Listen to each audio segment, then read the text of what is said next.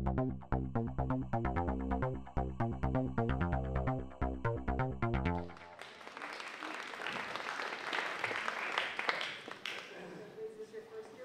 we're lucky here to have Robin, because I think he's going to provide some interesting insights that might help weave together some of the themes we've seen emerge here.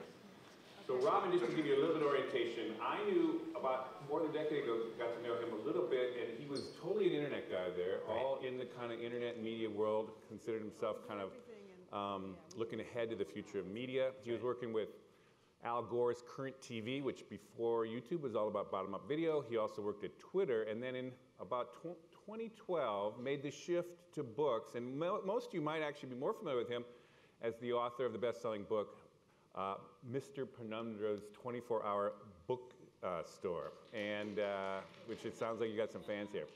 So one thing just to start off is why the shift? Uh, and he's coming out with another book, and so now he's ensconced in the book world. I just want to say that's the frame here. He, he knows one world, he knows the other, and now we're going to talk about the differences.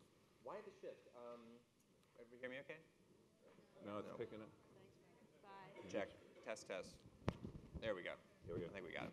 Um, why the shift? I, I think if you look at a lot of these stories, the answer is that it was there all along, right? And that was the case for me. I mean, even though I was so deeply in the, in the internet world for so long, for my whole career, such as it was, and, um, and you know, from the time I had been a kid onward, I was also a library kid. I mean, I was going to the public library all the time and scouring those. Do you remember the, the spinning mesh racks at the library? I feel like that was my that was my home turf. I would like spin those racks and pick up the fantasy paperbacks or the choose your own adventures.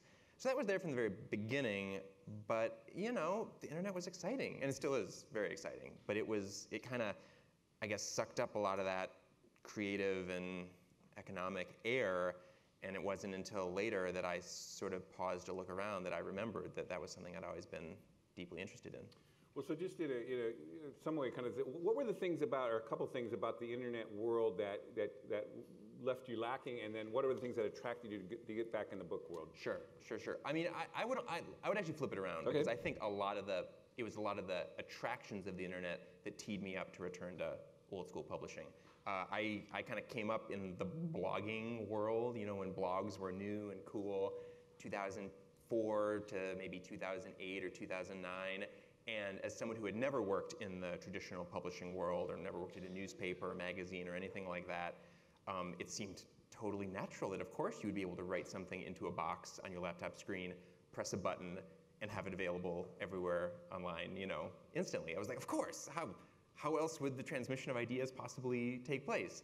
So I got used to that, and that actually led me, before it led me to printed books, it led me to the Kindle. Um, when the Kindle first came out, we've, we've talked that we, we appreciate our Kindles and appreciate reading books digitally. And when the Kindle first came out, uh, I thought it seemed like a pretty magical device, and I remember reading my first Kindle book and seeing the way things looked on that screen, that kind of funny, you know, passive, reflective screen. Um, and I, I read that you could put your own stuff up for sale in the Kindle store, and I thought, I think I would like to do that. I think I would like to have some words available for people on this screen. And that was actually the first, you know, talk about kind of returning to those roots. That was where the first words of fiction, that, that Kindle experiment, were the first words of fiction I had written in probably a decade. And actually, it, I ended up writing a short story that was released first as a Kindle single, and the title of that short story was Mr. Penumbra's 24-Hour Bookstore. So Awesome. But now, as you've been in this world, we were talking about this before, you found the world of books, the slower pace, things like that, Oh, yeah. very satisfying. Talk about about what you really love about that side of things now. Well, I, the, I mean, the truth is that I have, um, I don't know if this metaphor will make sense for everyone, but the way I've thought about it is very metabolic. Um, and because, of course, we, we know all these things about our digestive systems now and the way energy works.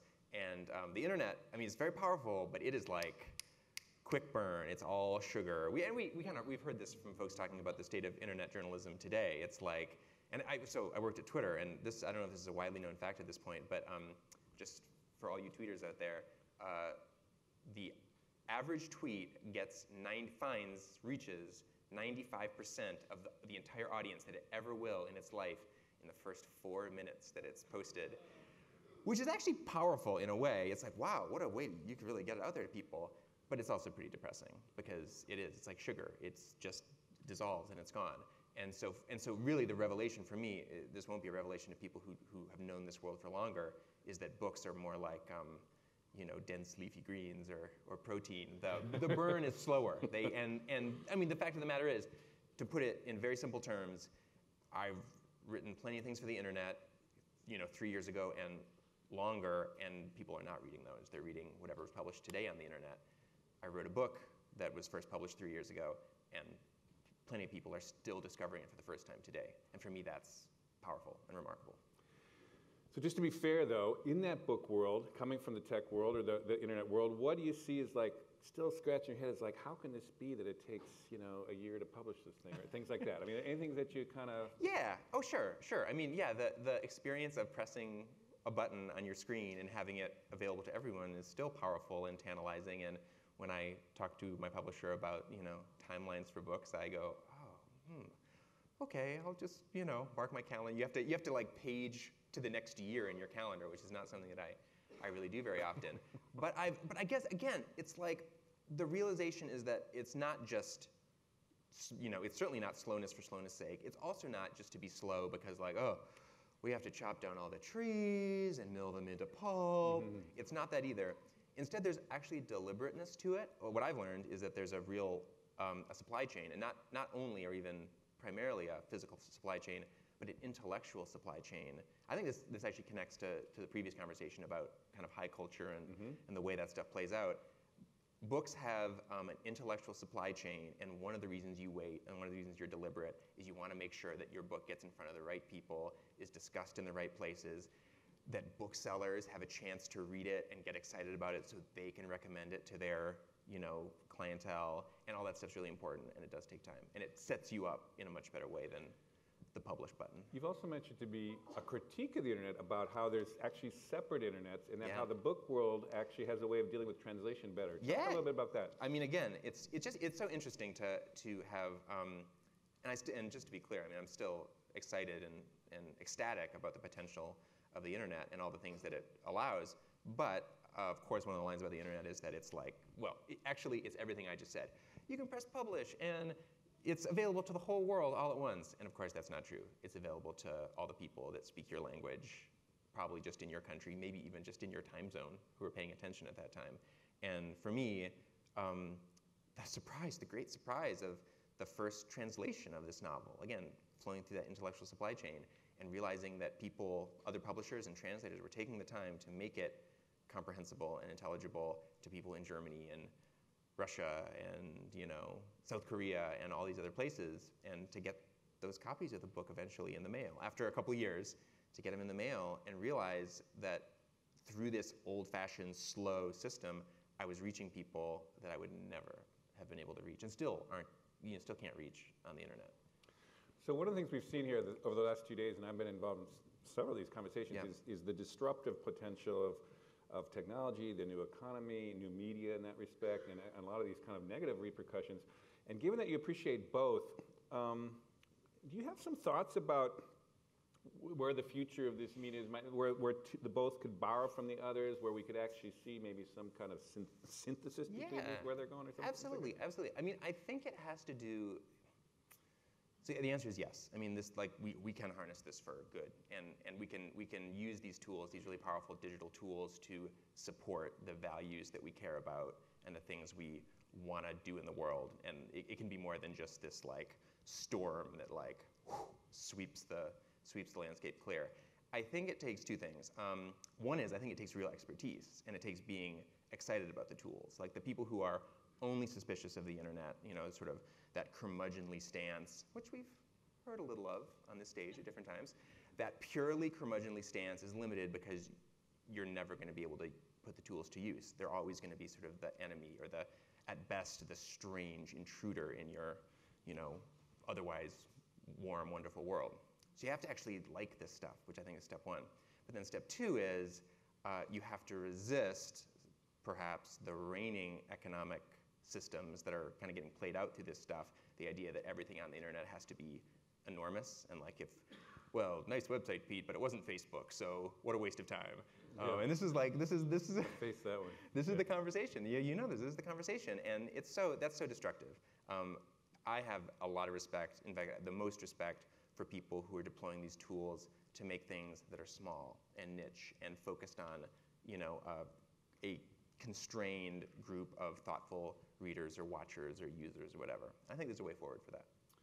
By the way, folks, if you have questions, do kind of write them up here, and we can slip them up here. You, you've got your shot here at uh, probing Robin's brain here. Um, there's been a lot of, I mean, you've been kind of keeping an eye, obviously, on where the internet's going. I mean, there's been a lot of interesting phenoms that are happening. For example, Medium. You go from Yeah. the, you know, folks from Twitter are now thinking long form. and- Yeah. And how that start maybe can evolve towards the book Yeah. methodical, long form, kind of thoughtful pieces. We're also seeing things like these upstart, you know, big companies getting a lot of this money, like Vox Media, that are also trying to be, actually be much more thoughtful and and, Yeah. um, and bring that more intellectualized, nourishing, kind of uh, pr- protein-rich kind of wor- world of the of the high culture and, Yep. and kind of the book world into the internet. I mean. Talk about anything. You see any other kind of promising through lines here that make you more optimistic that we could actually see some um, positive evolution here on both sides? Yeah, well, so I am super optimistic. Although, to be honest, it, it's not those things that make that make me optimistic, and it's and it's only because, I mean, I know people who work on all those projects, uh, and I and I think that they're they're uh, doing it thoughtfully and methodically. If you want to see, just as an aside, if you want to see the best typography on the internet, go to Medium. The way that they've thought through the em dashes and the like particular everything, like stuff that you don't even, unless you're a deep, deep typography nerd that you've never even thought about, they have, and it's beautiful. And so that's that is, and I think that you know that sounds maybe a little silly, but I actually do think that that contributes to some of that more nourishing, thoughtful stuff. The problem is this: Medium has to be big, and all this stuff, Vox has to be big. Like the only just because of the way they built these companies and taken in money and. and I think because of their own ambitions in the world, you know, their, their peers, the people they know, the only way they can succeed and, and sustain themselves, the only way they can keep going is if they're huge. And I don't think it has to be that way. And I, I actually think that one of the sort of counter examples we can use is going to sound funny because this is not considered like the exciting growth industry, but certain book publishers, not all of them, because some, of, some book publishers are quite big at this point too, but there are still some book publishers out there that are, they've got their audience. It turns out it actually does not cost that much money to make books and distribute books. And they're, they're like, if they're still operating at cottage industry scale and they're doing a good job and they're sustainable and they have a staff of maybe six people or five people, and the things they're doing are actually, you know, it's, it's not, are they reaching a million people every day? Definitely not. Will their books still be available in libraries and on people's shelves in 30 years? They probably will. And so in that way, I actually think they kind of like have a leg up on the Mediums and the Voxes in the long run. And I, so, so I'm optimistic that, that those places exist. Some of them are quite good at the internet. They, they have learned the tricks of Facebook and Twitter and e-commerce and all that stuff. And, uh, and I, I, I kind of put my poker chip on those, on those entities. Interesting. You're not tangentially kind of, or you, you- you're deep in the kind of world of uh, books, which is a high culture kind of book there. Yep. But you've also kind of seen and, and appreciated the devastation of, say, traditional journalism. Yeah, for sure. And we saw that actually come up in, the, in one of the previous conversations here. Um, how confident are you of a kind of a reboot of a kind of a, a broader media landscape? And how far that, that actually is sustaining the kind of more comprehensive coverage of communities, Yeah, yeah. the more kind of intellectual kind of niches, uh, the spreading the kind of wealth of kind of media Yeah. through that. Uh, well, how, think about the broader kind of journalism and kind of media ecosystem. Any thoughts on Well, that? I mean, that's a that's that is so the the big question. Um, we've seen this incredible hollowing out of um, just the, the real decimation has been local papers and regional papers and local reporting. And I actually I don't think I mean this is sort of the prognosticator's hat, so it's basically all bullshit. But um, I You don't. You were a futurist, though. I was. I was briefly. briefly, I was a professional futurist. My business card, best business card I ever had, it said, "Online futurist." at Sloan. For Uh, Current TV. Here it was for Current TV.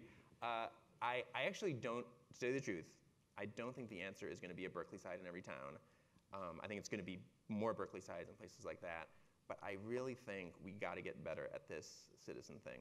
I think, you know, it's the the system to make that work doesn't exist now. It's not like Nextdoor. Um, it's not Twitter. It's not Facebook maybe it's going to end up being a combination of all those things. But the truth is, we all live in these communities and we see things and we have ideas and we know things too. We like have deep expertise about what's happening in our backyard. You know, uh, the the asparagus is coming up. Um, uh, I would like to date Dateline, South Berkeley, big crop of potatoes. Uh, Or how many hummingbird? We saw hummingbird. yeah, I mean, I would honestly, I'm, I'm ready for the hummingbird newswire. All it would just be all stills and slow mo iPhone video of hummingbirds. That could kill. Berkeley's berkeleyside.com slash hummingbirds. Annihilate. Um, so, I- so I do think I think the future has got to be stuff like that, which is in some ways, in some ways, is a hard thing to say because that we don't know what that model is. It, we can't just say. Make me more of that. It doesn't. It doesn't exist yet. But I think. I think that's the only way it's going to work.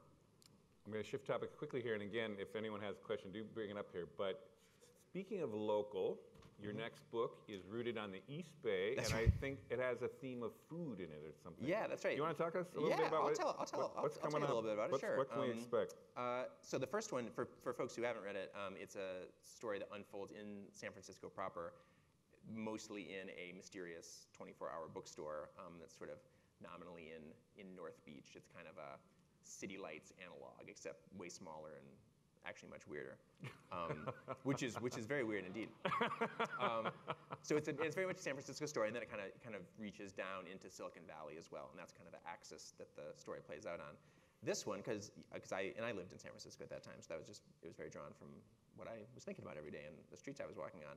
This new one, I'm a Berkeley resident now and have been for some time. Um, it a lot of it plays out here in the East Bay. Some some locations that you um, that you might uh, that you might recognize. There's a place.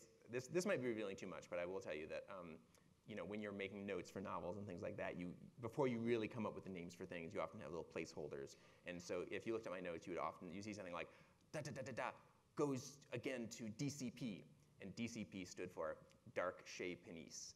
And it's my sort of like imagine just imagine you took Chez Panisse, but like made it kind of creepy and haunted and dark. It has a different. It's not called. It's not called DCP, but, but it's in the book, and it and it does. It uh, it the the you know if, if the first novel, um, besides just being about characters and a mystery and you know an adventure and all that, it was very much about the world of books and you know where books came from and where they're going. Uh, this new one is very much about the world of food. It kind of wends its way through old and new ideas about how we should eat. Uh, it'll be out sometime next year. I'm not sure when exactly. This is the publishing issue we're talking about. You Yeah, never yeah, know. Yeah, in 24 to 36 months. it's worth the wait. Excellent. Uh, well, I tell you, so, um, and so you feel, do you feel as you're kind of bringing that to, to, to, to bed, right? That book? Yeah, yep, finishing it now. Mhm. So are you thinking of yourself now, when, when I talked to you about the two different worlds, and I said, well, which do you prefer Yeah. and which do you think you'll be in?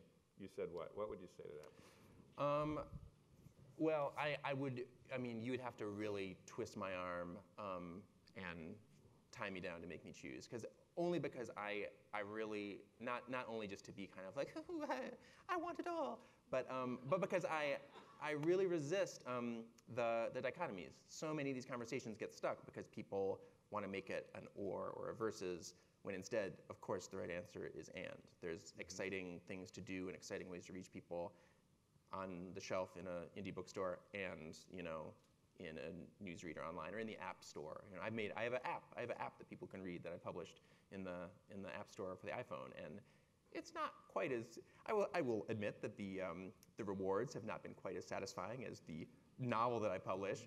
But it's pretty cool, and I would like to do more things like that and keep a foot in that world. I would, I guess I'll put it this way: I'd feel like I was really surrendering something if I had to give up on the digital stuff. I think there's more to more to discover there. Well, actually, okay, so here's a question, um, kind of in this, because again, to what extent are you representative of someone in this book space? I mean, you've actually had a phenomenal success with that first novel and, Yeah. and looking like they'll be continue to be uh, working that. But it says here, in an era when everyone is blogging, do you have any suggestions on how to distinguish your work Oh yeah, as a novice blogger yeah. and to reach an audience past your kind of personal network. And so here's someone who want and probably let's say also wants to do serious work and serious writing and, and get a real Yeah, yeah, yeah. Boy, that's, I mean, that's, whoever asked that question, it's the right question because it's hard. And it's harder now than it was before. It, there was a moment in blogging when it was a little more fertile for, for kind of new voices. And now it's just, the internet has changed. And, and it's Facebook and Twitter and things like that that, that have changed it. However, the answer is still the same. It's always the same. And it's true for publishing just as much as it's true for blogging. You got to find your people. Like, there could be no other answer. Um, and it's going to start with your friends. But there are people, I mean, I guarantee if you're someone who's interested in writing and sharing things, you have people you follow online and people who you read, who you admire. And the first step is when you feel like you've kind of got your act together and it looks cool and you have something smart to share, is you send it to them. Like, that's the first step. And you try to make, you try to build that web.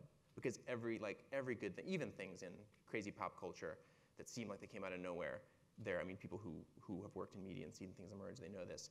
It all comes out of this web, this web of alliances and people having each other's back and being excited about each other's work.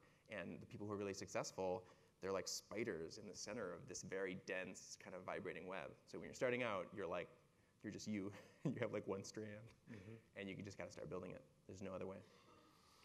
There's another interesting question, um, which builds on what we said before a little bit here, but um, you almost draw a line between print and internet. Now, they might have written this before you just distinguish that. But do you think there's a way to produce internet content that will have a long shelf life and readability over time? Oh I man, that's the- I am so I'm so I'm fascinated. I mean, I could I could think and argue and wonder for hours endlessly about that question. I think it's one of the main questions of our time.